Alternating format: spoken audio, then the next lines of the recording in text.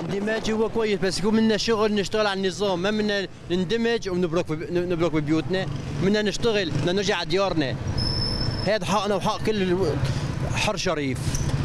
ما بدنا نشكل ونبرك نفرج على بعضنا. بدنا نشتغل على النظام. أنت بيحكين بيوتنا لا أصبح عمرو مسلم على النظام مرتاح من الشيء كلياته. طبعا يصير تحسن كثير كبير في في المنطقة. أنه اندماج يكون فصيل واحد. هذا شيء كويس. وفي مبادرة حلوة إن شاء الله يكون مستمرين في هالشيء هذا. المدينة بتتطلب هالشيء هذا. طبعا أهم شيء يكون تنظيم البلد يكون هو فصيل واحد ما يكون في فوضى بين الفصائل. طبعا الاندماج هو يعني عبارة عن عن غرف يعني كلها على الفاضي. يعني اليوم شكلوا أنتم شكلتوا قيادة جيش وطني وهيئة أركان وحدة وضباط وضباط وفي وفي رئيس في وزير دفاع.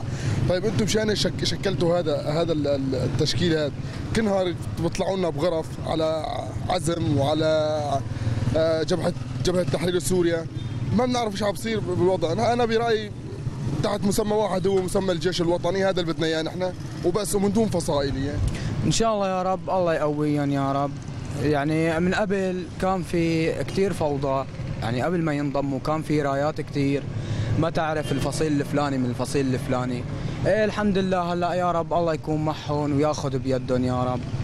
إيه هلأ صاروا كلهم تحت رأي وحده الحمد لله رب العالمين. إن شاء الله يتموا ثابتين على هذا الشيء يا رب دخيلة.